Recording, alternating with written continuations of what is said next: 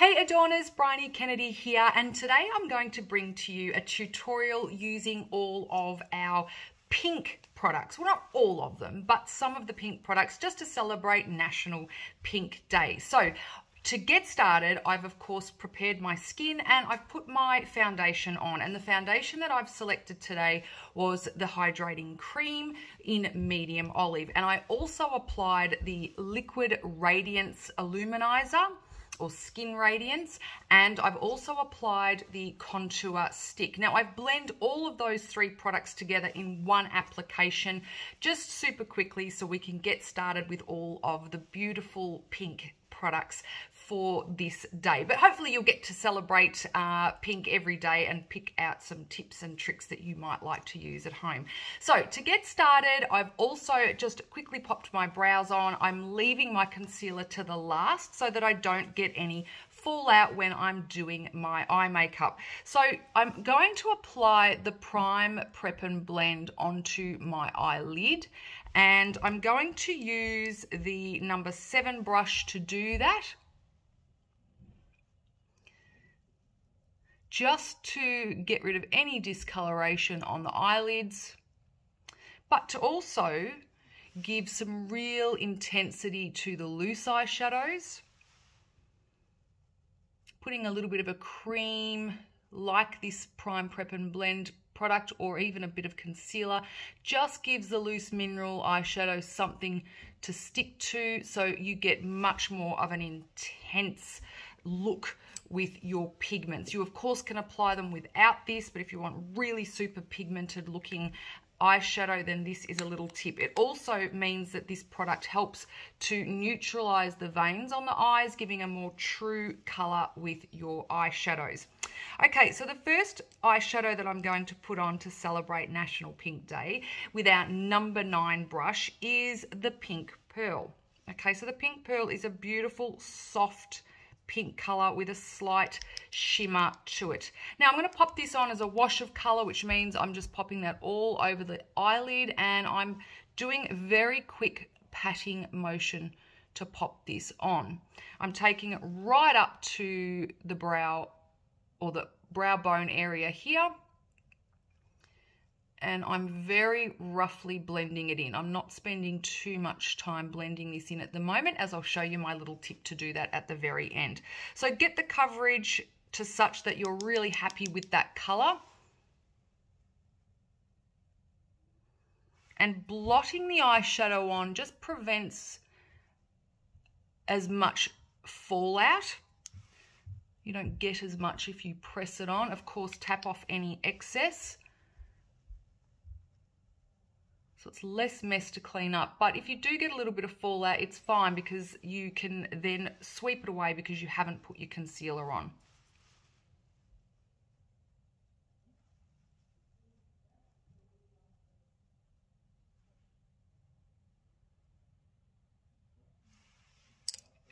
Okay, I'm really happy with the coverage of the pink pearl eyeshadow. And now I'm going to pop on the beautiful Rose Quartz eyeshadow. It's a very popular eyeshadow color. It's beautiful on the lips if you want to use it as a multi-purpose product. It's gorgeous using it as an eyeliner. Just wet your angle brush. So there's some extra little tips for you. I'm going to put this brush, uh, this eyeshadow on rather with also the number nine.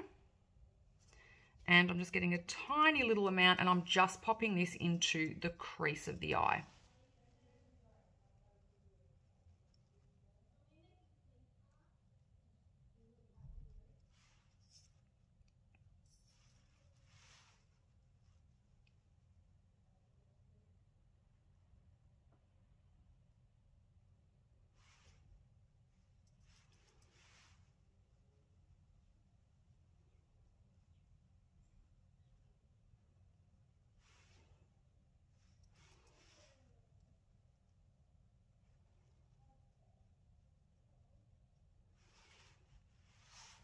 Okay, now I'm going to just pop the rose quartz just a little bit higher up onto the brow bone.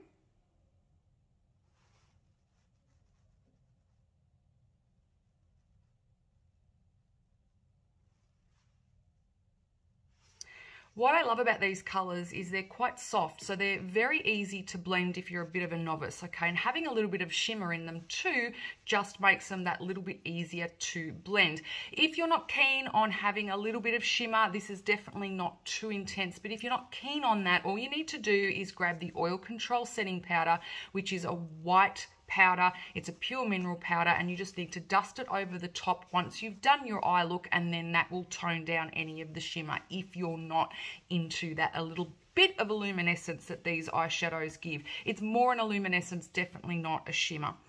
Okay, so the tip that I have for you at the very end when you're really happy with the overall look, but it's just this area up here that you need to blend there's a couple of tips that I can share with you. The first is to always have a clean brush handy, and my favorite one is the number four. The number four is one that I use to blend away any of this excess. I can do it with just the brush by itself, or I can use one of the other eyeshadows like the Base Nude, Invincible, or even the Oil Control Setting Powder. And what this does is it just gets rid of any of the line between the eyeshadow and that clean skin underneath the brow. So rather than continuing to blend up and ending up like you've got really dark eyes or the eyeshadow's just gone too high, just stop it at your brow bone area and then use your clean brush to blend away any of the line. So now we've got a really nice, very gradual, almost like a smoke up to the brow area. Now, if you're wanting to intensify under the brows, then you might want to use something like the Invincible. That's a beautiful color that will give that real definition to the brows.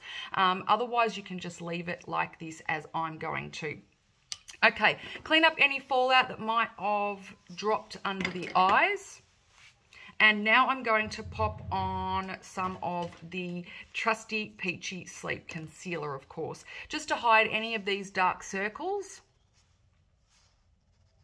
and I have quite dark circles under my eyes so you can see very instantly how much that has given my face a lift to this side and it looks very natural. So when I'm putting my concealer on, I tend to get it on my ring fingers and pop it on like an eye cream. So I just blot it in the corner and blend, patting it like I would an eye cream.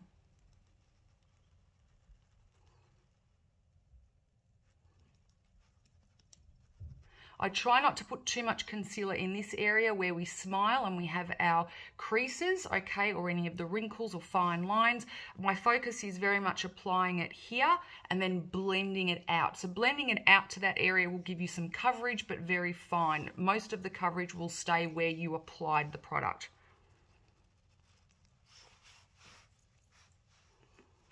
Okay, so happy with that coverage. Now I'm going to move on to my pink cheeks before I finish off my eyes. So one of my favorite looks is to combine two blush colors. Um, the very first one that I'm going to use is the Spring Cream Blush. It's a very nude baby kind of pink. And I like to pop it on this part of my lower base of my thumb pop it on both sides and then I like to blend this right around my cheekbone up into my temples to give the face a bit of a lift.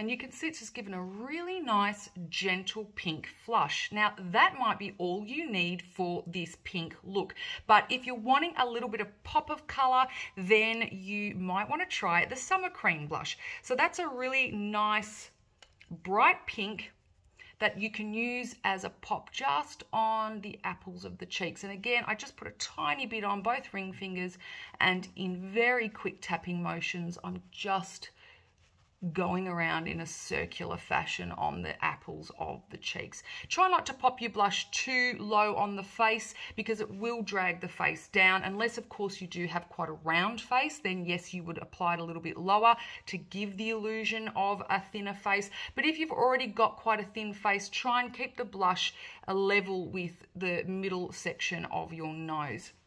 So that's given a beautiful burst a pop of color and that's my little tip to making natural blush on the cheeks is to coordinate two colors one that's more of a neutral that you can pop all the way up to the temples and another one that you can pop as your bright color on the apples of the cheeks.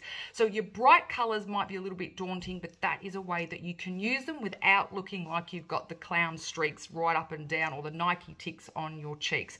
So that is the blush finished. Now, if you wanted to at this point, you could definitely put on the cream illuminizer. Okay, so that is our new cream highlighter. Okay, it's got more of a pink undertone, which is fabulous. I know a lot of people were wanting um, something that had a bit more of a pink to it. You could, of course, use your loose mineral highlighter if you're wanting to, but I'm going to use this beautiful new cream on the apples and the tops of my cheekbones just to give that really nice radiance, really natural radiance right up into the temples. You could pop it in the middle of your forehead if you wanted to. You could pop it on your lips.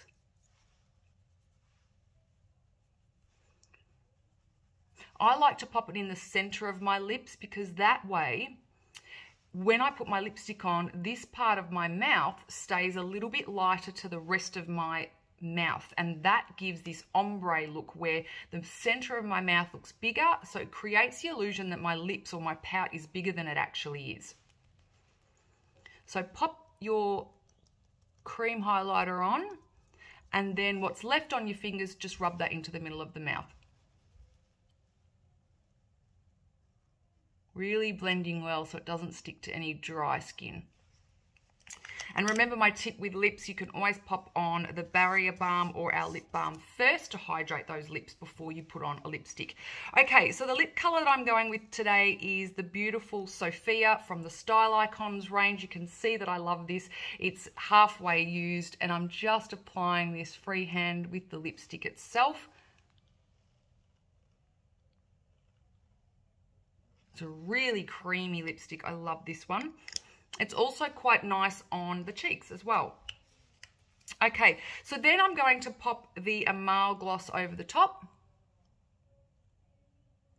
which is this beautiful baby pink, just to really amplify and make my lips look that much bigger. For those of you that struggle with lipstick staying put or lip colors staying put, stick to lipsticks, pop the oil control setting powder on your lips first. That will give the lipstick something to grab to and help prevent it from bleeding, okay? And then maybe if you really still want to try a gloss, just keep the gloss to the center part of the mouth, which will prevent this outer corner from bleeding. So there's a little tip with getting your lipstick to stay on a bit longer. Okay, so the next thing that I will do is curl my lashes. Now you might like to put eyeliner on, but for me today, I'm just going to keep this really natural. So no eyeliner, but you might want to. And popping the lash primer on, just so we get nice long looking lashes. I focus it on mainly the outer corner of my eyelashes rather the inner corners. That way my eyelashes will appear longer and will appear to have more volume and they will also just help correct the shape of your eye if you're focusing on this outer corner, if you're trying to create the illusion of bigger eyes. If you've got quite big eyes already and you're trying to make them maybe look a little bit smaller, then definitely focus on putting the same amount of mascara the whole way around the top. But if you're trying to make them look bigger, let's try and focus on the lashes on the outer three quarters.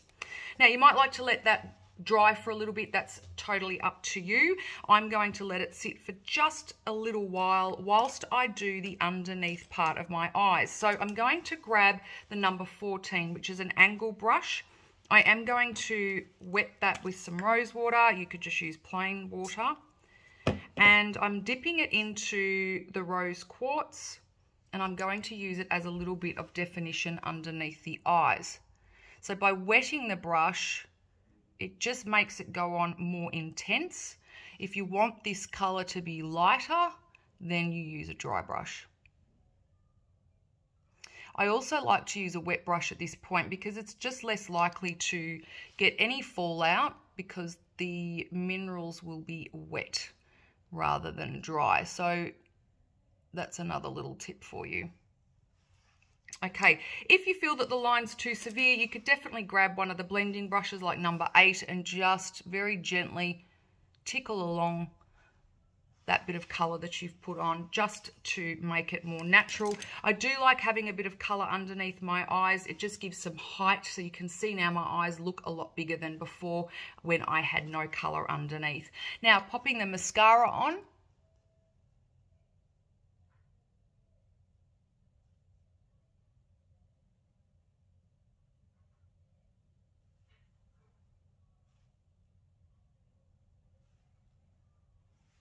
You'll notice that my focus is mainly the outer lashes and I probably only do one or two coats on the inner lashes.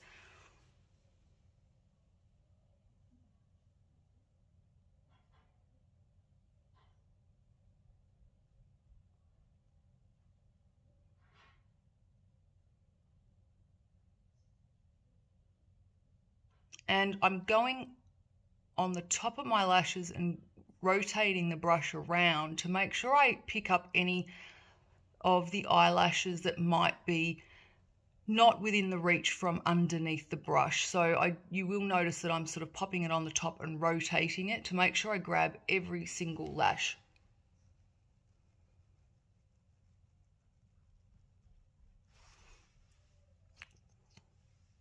One of my tips is to grab the brush at the end and the mascara that you'll find on the tip of your wand. I like to just tickle these outer lashes rather than loading up the lashes anymore with mascara at the base, which can cause the lashes to be weighed down and droop over the day. To get the extension of the lashes, just use the mascara that's at the tip of the wand and tickle the ends of the lashes. See how much longer this is to that side okay? But I've not created weight, which may drop the lashes by putting more and more mascara on. That can often just give you width and thickness, but it may not give you the length, okay? So loading it up too much can cause the opposite effect of what you're trying to achieve. Okay, so tickling these lashes now with the end of my brush.